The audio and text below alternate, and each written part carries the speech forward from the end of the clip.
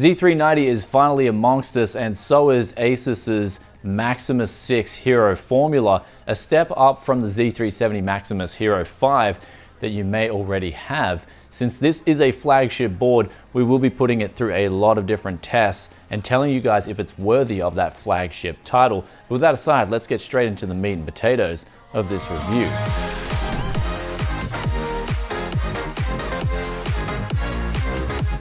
Welcome back to Tech Yes City. Right here is a 10-phase VRM design implemented on this board using Vishay Siliconix SI6 739 dual stage MOSFETs. Now I couldn't find a whole lot of info on these MOSFETs, but I will say when it comes to overclocking and the real world results, this is where it really matters. And honestly, this board has done better than any Z370 board, as well as doing better than other Z390 counterparts when I tested it with a particular CPU that puts out a lot of heat. And it did so well to the point where it was using less power, it was also getting good overclocks and keeping them stable at certain levels.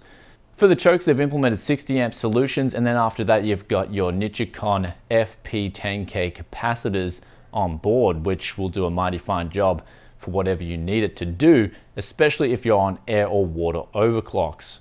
This thing is not going to have a problem at all. Right beside that 8 pin, you've also got an additional 4 pin to give the CPU extra power if it so needs it. Moving through the board itself, you've got 8 PWM fan headers as well as one 3 pin for a water cooler. So nine fan headers in total. We've also got two RGB outs for four pins and also two RGB outs for the three pin solutions. Asus have also implemented a power button as well as a Dr. Debug LED light, which is great for LN2 overclockers. On the rear of the board, you also get the clear CMOS button and the switch BIOS for the dual BIOS implemented on this board. And then when it comes to the DDR4 memory overclocks, they say they support up to 4400 megahertz. Unfortunately, the memory I had on here only went up to 3700 megahertz. I couldn't test past that uh, because I don't have extreme overclocking tools and also really good memory to test that. But in terms of overclocking the memory, it did the best again out of any board that I've had here in terms of overclocking that particular set of memory. And then glancing a little bit further down the board, you've got your implementation of the ROG heatsink, which can be controlled with the Aura software. And you can even control that in the BIOS itself,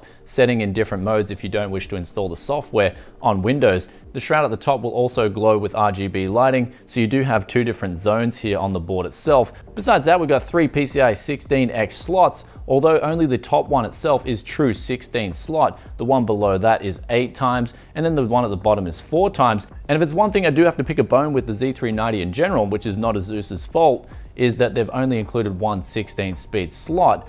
I'd like to see the CPUs themselves support more lanes and also the motherboards have two 16 speed slot solutions so you can then link up two RTX 2080 Ti's for example in 32 times for both those graphics cards. But there's also an additional three 1x slots of PCIe coverage, as well as having two NVMe PCIe 3.04 speed slots that do have heat sinks on both the slots themselves. When testing the bottom and the primary slot for this, we noticed the temperatures do go down quite a bit. On the heatsink itself, we had 48 degrees when running a 100 gigabyte stress test, and with the heatsink off, it was 91 degrees on the thermal imaging camera. Also on the software, we reported 61 degrees versus 92 degrees itself.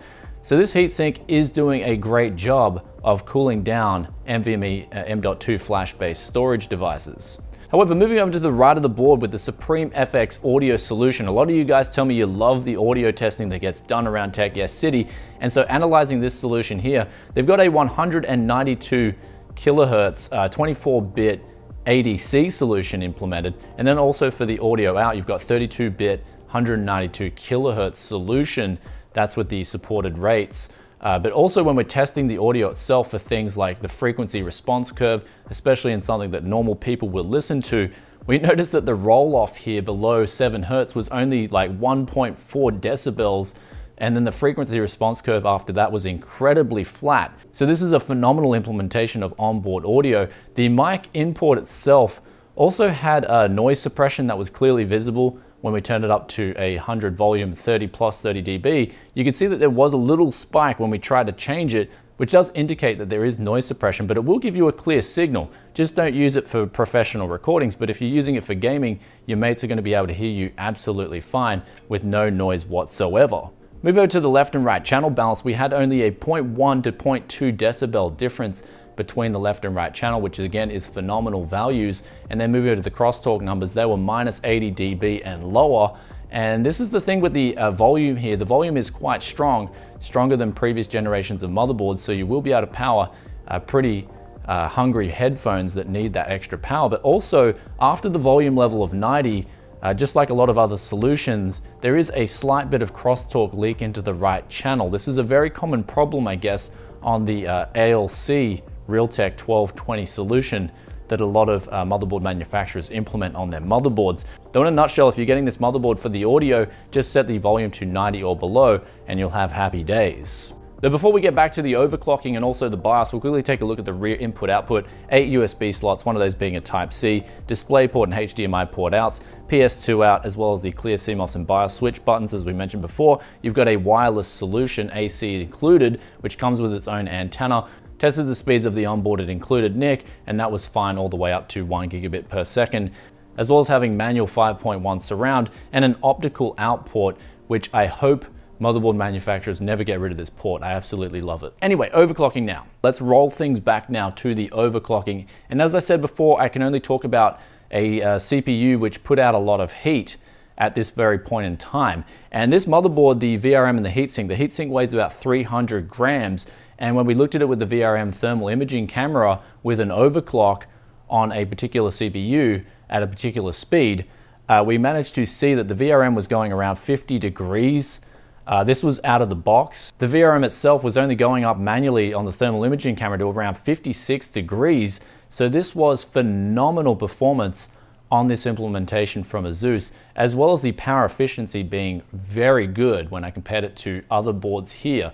So they've definitely got things right in terms of the magic behind the implementation of the hardware on this board itself. But when we move on to the BIOS, this is where things really don't need to get any better.